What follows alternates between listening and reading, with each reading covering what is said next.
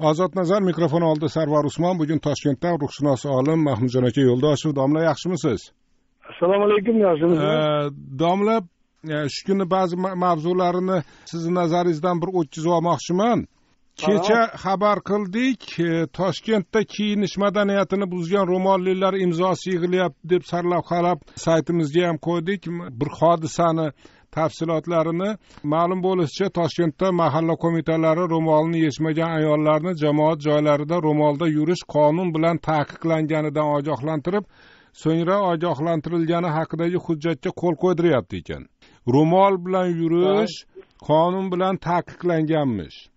Endi bu qadar odamni shaxsiy hayotiga aralashuv qanday bo'lmasin qonun bilan ham tushuntirish qiyinda endi. Buni to'g'riligini tushuntirish qiyin. Ro'moliga aralashish bu shaxsiy hayotiga aralashish degani. Lekin lekin hukumat shu choralarni ko'rayotgan ekan hukumatni ham o'zini qandaydir bir mantig'i bordir. O'sha mantiqni siz tushuntirib bera olasizmi?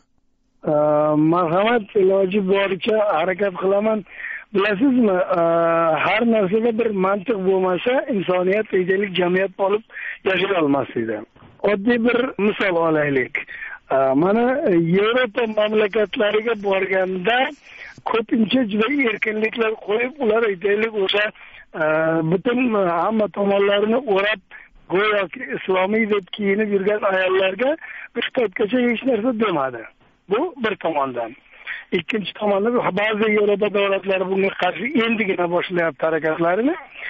Lekin e, mana oddiy bir e, arab mamlakatlariga kelib yevropalik ayollar o'zlarining xohlagan kiyimida yuryaptimi yo'q.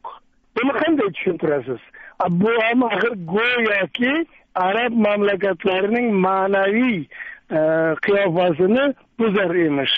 Nima uchun aytaylik o'zbek davlatining ma'naviy qiyofasini buzuvchilarga qarshi kurashmas ekanmiz? Nima uchun? Nimaga? Biz o'z e, ma'naviy qiyofamizni ma'naviy aytaylik normalarimizni bugungi aytaylik o'zbekistonning mustaqil yo'lini e, chapga o'ngga burib yubormoqchi bo'layotganlarga indamay qarab turishimiz kerakmi? Voy qarang domla domla.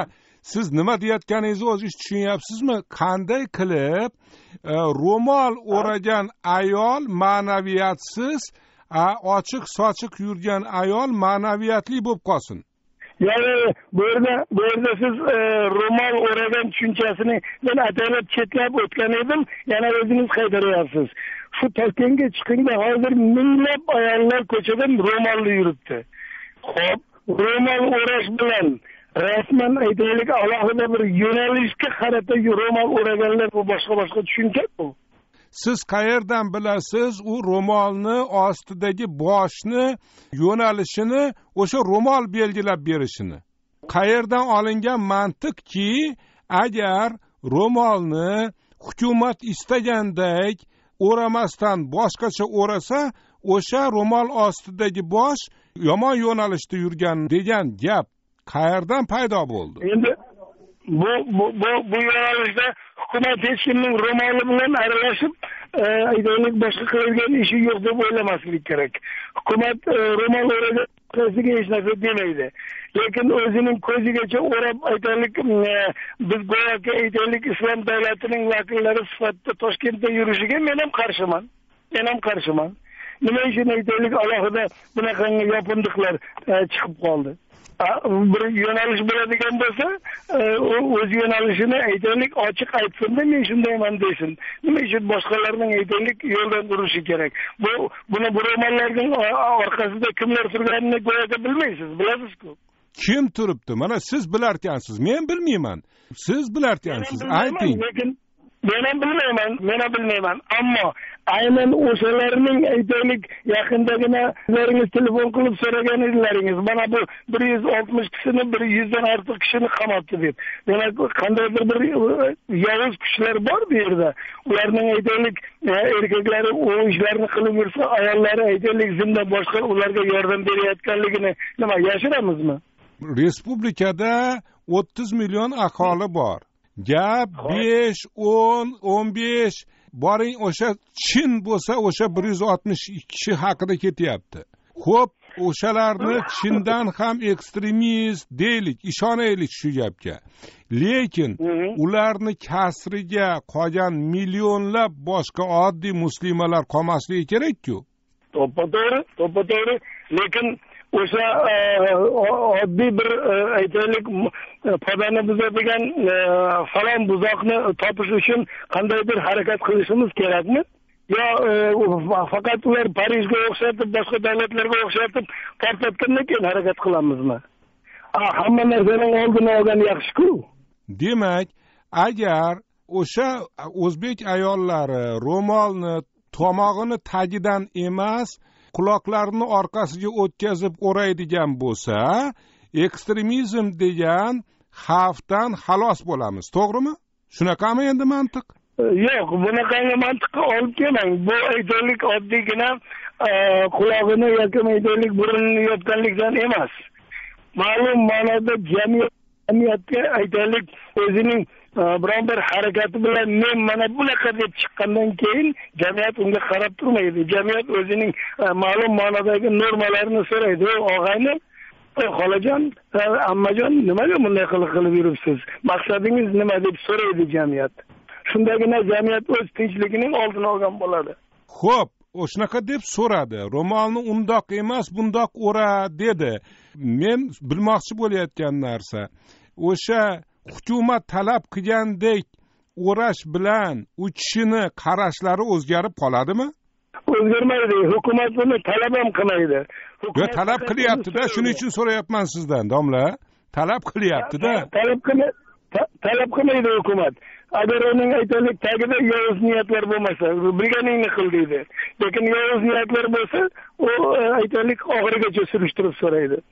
Yo'q yovuz niyat yovuz niyat shu faqat ro'molda ekanda demak a yo'q yo'q yo'q yo'q yo'q. A nimada bo'lmasa? Aytyapmanu jamiyatga shunday aytaylik qichqiriq aytaylik e, harakat bilan chiqqandan keyin jamiyat so'raydi. Nimaga bunday qilyapsan deb turib jamiyatga qarshi aytaylik oyoq bosgan kishidan jamiyat so'rashi kerakku. Og'ayni nima qilyapsan deb. Yo'q siz adashtiryapsizda hukumat bilan jamiyatni. Hukumat jamiyatdan shuni talab qilyapti. Jamiyat jamiyatdan talab qilmayapti. Hukumat. Kechirasiz. Kechirasiz qayerda hukumat jamiyatdan ajralibdi shuni bir qaysi davlatda hukumat jamiyatdan boshqa joyda boshqa pog'onada yoki aytaylik boshqa maqsadda turgan davlatni ko'rsating qani hech vaqt hukumat jamiyatdan alohida turmaydiku. Xususan o'sha ro'molini boshqacha o'rashi talab qilinayotgan ayollarni ham jamiyat deydigan bo'lsak o'sha ayollar yashayotgan o'sha ayollarni jamiyati bilan o'sha jamiyatni hukumati hozir ikki xil qarashda bo'lyapti. Demak o'zbekistonda aholini muayyan qatlami bilan hukumat bitta pozitsiyada turmayapti ekan. Mana sizni savolingizga javob. Nima uchun aytaylik? Jamiyat deganda faqat o'zining shu jamiyatga qarshi bo'lgan harakati bilan ko'chaga chiqqan ayolni tushunasizu aytaylik jamiyatning ko'chada yurgan millionlab kishilarini tanolmaysiz nimaga? Yo'q nima uchun siz to'xtang domla domla. O'sha ayollar jamiyatga qarshi bo'lgani uchun ro'mol o'rab chiqmayapti. O'zini qarashlaridan kelib chiqib odob to'g'risidagi tushunchalaridan kelib chiqib ro'mol o'rab chiqyapti. Birovga qarshi bo'lgani uchun emas.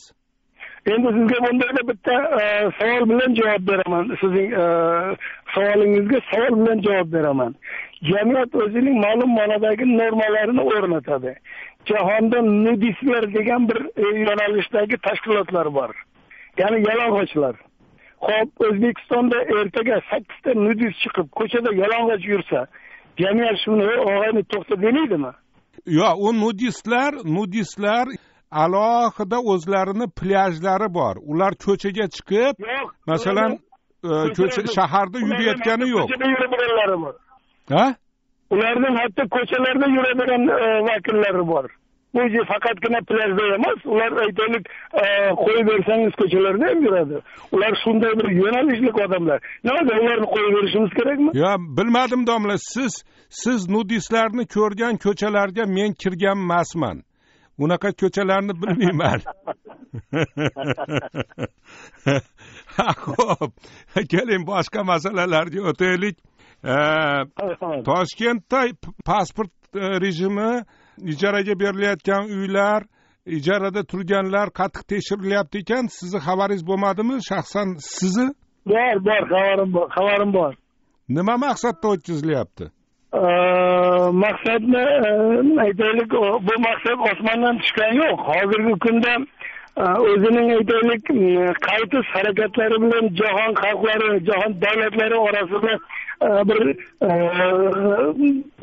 ba'zi aytaylik hech kimga yoqmaydigan siyosatini yuritmoqchi bo'lgan davlatlar e, jahon ichida qaltis holatlarga olib kelib qo'ydi. Ana shu qaltis holatlarning ehtiyot choralarini qilib o'sha aytaylik e, yovuz niyatli kishilar bizga oralamasin. Ular kelib shu yerda aytaylik bir yopiq e, vaqtincha ijaraga olingan xonalarda o'zlarining aytaylik yashirin bombalarini tayyorlamasin deb tekshirishlar o'tkazilgan bo'lsa nima buni yomon deyishimiz kerakmi? Yo'q yomonmi yomon yaxshimi deyayotganim yo'q. Men sizni fikringizni bilyapmanda e, keling e, savolim mana endi. Qo'rqqanga qo'sh ko'rinmayaptimi?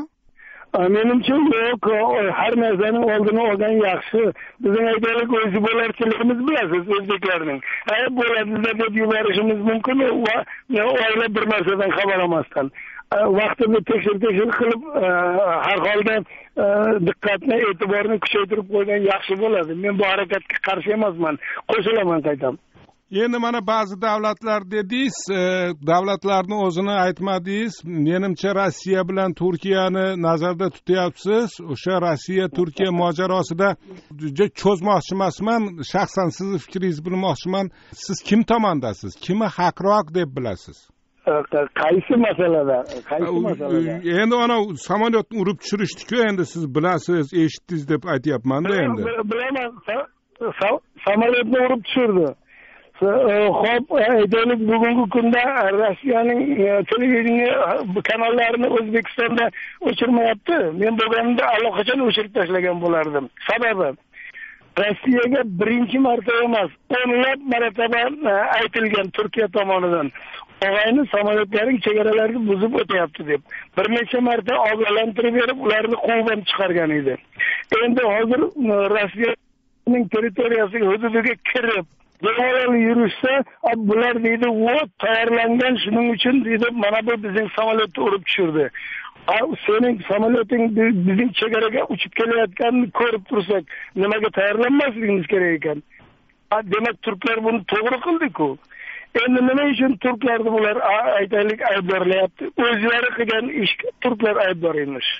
Ha ho'p tushundim men sizni. Demak yo shu kunda shu kunda boya siz aytayotgan jamiyat ikkiga bo'linib qolganda putinchilarga erdo'g'onchilarga. Demak siz erdo'g'onchilardan ekansiz. Bu ham tushunarli bo'ldi.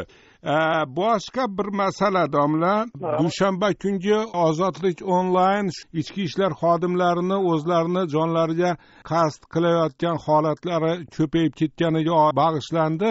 Mana shu xususdagi eng so'nggi xabarlardan biri demak yigirma sakkizinchi noyabr kuni samarqand viloyati nurobod tumani ichki ishlar bo'limi huquqbuzarlikning oldini olish bo'limi e, boshlig'i o'rinbosari o'ttiz yashar oybek mamarahimov ha? Xabarim bor xabar ha ha shu kishi o'zini joniga qasd qilibdi shu munosabat bilan men e, sizdan bir narsani so'ramoqchimanki siz endi shu ruhshunos olim sifatida xabaringiz bordir balki yo'qdir bo'lsa ayting demoqchiman. Shu ichki ishlar vazirligi tizimida shaxsiy tarkib bilan ishlaydigan qandaydir bir psixologlar umuman o'sha oddiy militsionerdan tortib e, zobitlarigacha bo'lgan xodimlarni psixologik holatini bir kuzatib turadigan tekshiruvdan o'tkazib turadigan zarur bo'lsa yordam beradigan xizmat bormi qandaydir?